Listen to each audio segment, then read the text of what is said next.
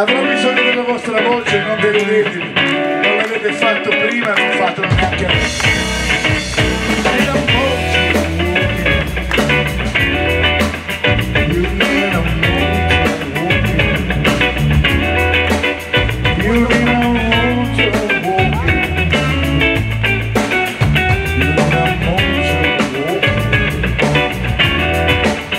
You're in a